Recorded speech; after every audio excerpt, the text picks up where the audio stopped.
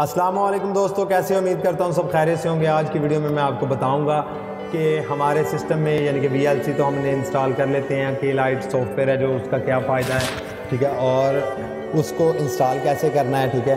क्योंकि वो एक ऐसी चीज़ है कि यानी कि हमारे सिस्टम की काफ़ी ऐसी फाइलें होती हैं जिनको वो चलने में मदद करता है, ठीक है? कुछ ऐसी चीज़ें होती हैं जिनको वो शो करने में मदद करता है। बाज़ टाइम आपने देखा होगा कि कुछ वीडियो वगैरह होती हैं या कुछ ऐसी फाइलें होती हैं जैसे कि थ्री जी या एम ये तो फाइलें पिक हो जाती हैं, लेकिन कुछ ऐसी फाइलें होती हैं जो शो नहीं होती, जिस तरीके से आप ये देख रहे हैं, ये फाइलें शो नहीं हो रही। ये कौन सी फाइलें हैं? ठीक है, इसको ऐसे ही चेक करना पड़ेगा, ठीक है? ये एम टू वी फ़ाइल है, ठीक है? और सी इंस्टॉल करने के बावजूद भी ये इसका जो थम मेल है, वो शो नहीं हो रहा है। हमें समझ नहीं आ रही ये किसके रिलेटेड वीडियो है, ठीक है? तो उसके लिए हमारे, हमें जो, जिस सॉफ्टवेयर की ज़रूरत पड़ती है, वो कोडिंग की ज़रूरत पड़ती है। और ये के लाइट कोडिंग बहुत अच्छा सॉफ्टवेयर है, ठीक है? इसको इंस्टॉल कैसे करना है, इसका तरीकेकार बताता हूँ, ताकि सारी फाइलें आपकी रन हो, ठीक है? उसके लिए आपको सॉफ्टवेयर डाउनलोड करना पड़ेगा पहले तो आप फ़ाइल हिपो से जो है ना, वो सॉफ्टवेयर को डाउनलोड कर सकते हैं, ठीक है? यहाँ से आपने लिखना है कंप्यूटर पर फ़ाइल हिपो फ़ाइल हिपो लिखने के बाद, ठीक है? तो ये इस तरीके से वेबसाइट आ जाएगी, आपने मल्टीमीडिया पे चल जाना है या यहाँ पे सर्च बॉक्स में आपने के लाइट लिख के सर्च कर लेना है। अगर आपको नहीं समझ आती तो आपने यहाँ से मल्टीमीडिया पे चले जाना है। मल्टीमीडिया पे जाने के बाद आपने यहाँ से नीचे इसको जो है तलाश कर लेना है, ठीक है? तो ये मल्टीमीडिया में ये पढ़ा है, ठीक है? तो ये टोटल इधर मल्टीमीडिया वाले सॉफ्टवेयर हैं, ठीक है? और इसके अलावा इसमें और काफ़ी ज़्यादा सॉफ्टवेयर हैं न्यूज़ के रिलेटेड शेयरिंग के रिलेटेड है एप्लीकेशनें भी मिल जाएँगी। और ये जो टॉप के पॉपुलर सॉफ्टवेयर हैं, जो ज़्यादातर इस्तेमाल में होते हैं, ये उनके उनके रिलेटेड पड़े हैं, ठीक है? तो उसके अलावा आपने इसको बाद नेक्स्ट करना है। नेक्स्ट करने के बाद नॉर्मल मोड पे ही रहने दें, ठीक है? उसके बाद फिर ये फाइलें इसी तरीके से रहने देनी है आपने, ठीक है?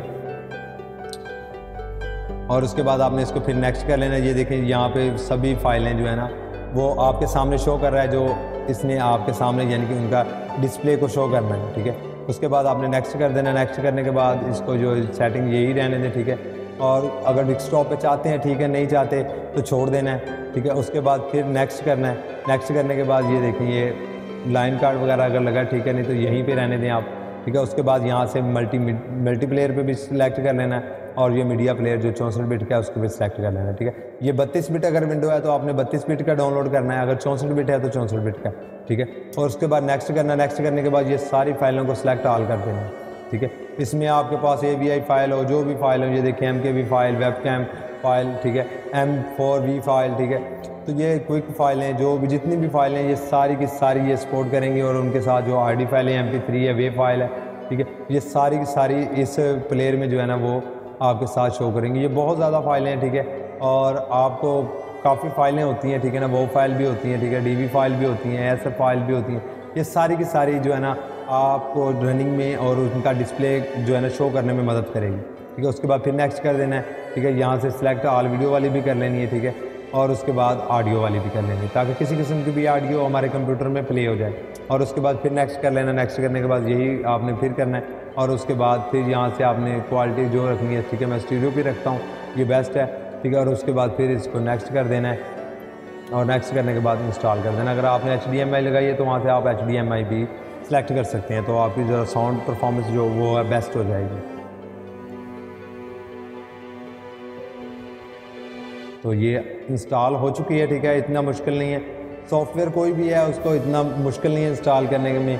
बड़ी आसानी के साथ हो जाता है। हाँ कुछ सॉफ्टवेयर ऐसे होते हैं जिनको रजिस्ट्रेशन में मसला बनता है क्रैक फैलों के साथ चलाना पड़ता है। इन ताला उनकी भी जो है नेक्स्ट वीडियो आपके साथ शेयर की जाएगी, ठीक है? ये देखिए, यहाँ से भी डिस्प्ले आ चुका है और अगर बात की जाए इनकी तो ये भी डिस्प्ले हमारे सामने शो हो चुका है, ठीक है? अब अगर आपने फ़ाइल को प्ले करना है, ठीक है? तो ये जो अपना उसका मीडिया है, वो शो कर रहा है, ठीक है? आपने क्या करना है? आपने यहाँ से ओपन विथ पे जाना है। यहाँ से आप वी एल सी सेलेक्ट करना चाहें, जो आपने यानी कि किए हुए हैं प्लेयर उनमें से आप कोई भी सिलेक्ट कर सकते हैं। अगर तो एक टाइम चलाना है तो इधर से इस तरीके से सिलेक्ट कर सकते हैं। अगर आप चाहते हैं कि परमानेंट अगर मिसाल के तौर पर ये मेरी वीडियो एम है, ठीक है? एम है, ठीक है? अगर आप चाहते हैं कि ये मेरी वीडियो एम पी फोर में चले हर बार, जब भी मैं क्लिक करूँ तो यहाँ से आपने क्लिक करके ओके कर लेना है तो ये वी एल पे चलनी शुरू हो जाएगी, ठीक है? और अगर आप चाहते हैं कि मेरी वीडियो के लाइट या कोई और ब्राउज़र हैं उसमें चलें तो आपने यही करना है कि आपने उधर से उसको फिर चेंज कर लेना है ठीक है?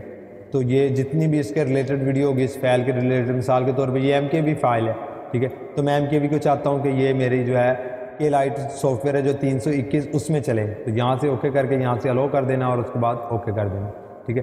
तो एम पी फोर के रिलेटेड जितनी भी फाइलें हैं ठीक है? वो सारी की सारी ठीक है? वो सारी की सारी इसमें चलनी शुरू हो जाएँगी, ठीक है? और आप आसानी के साथ जो है ना अपने सिस्टम में जितनी भी जितनी भी फाइलें हैं, चाहे एम के वी है M T M T C है एम टी वी है, ठीक है? वेब फ़ाइल है वेब कैम फ़ाइल है, वो सारी बड़ी आसानी के साथ प्ले कर सकते हैं। तो ये सारा कमाल जो है कोडिक का जाता है, यानी कि 321 सॉफ्टवेयर है जो उसका जाता है। तो ये सिस्टम की कह लें कि एक किस्म की जान है। अगर VLC जान है ना प्ले के मामले में तो ये उसका भी बाप है।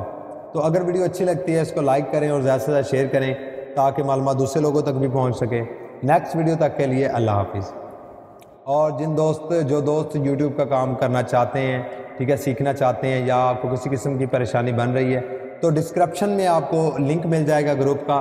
तो आप उस ग्रुप को ज्वाइन करके हमसे रबता कर सकते हैं। तो वहाँ पे दो ग्रुप होंगे, एक यूट्यूब के नाम से, एक वैसे ही होगा। तो अगर आप यूट्यूबर बनना चाहते हैं तो यूट्यूब वाला ग्रुप ज्वाइन करना। अगर यूट्यूबर नहीं बनना चाहते तो उस ग्रुप को ज्वाइन करने की ज़रूरत नहीं है। आप जो दूसरा ग्रुप है, उसको ज्वाइन कर लें। पाक पंजाब स्टूडियो वाला जो ग्रुप है, आप उसको ज्वाइन करें। इन ताला आपको आपके मसले जितने भी हैं सब का हल आपको मिल जाएगा। ओके नेक्स्ट वीडियो तक के लिए अल्लाह हाफिज़।